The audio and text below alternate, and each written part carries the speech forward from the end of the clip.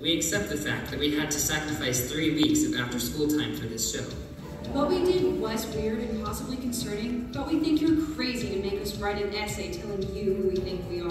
You see us as you want to see us, in the simplest terms, in the most convenient definitions. But what we found is that each one of us is A singer, An actor. a techie. And, and a band? Does that answer your question? Sincerely yours, the Montage Club.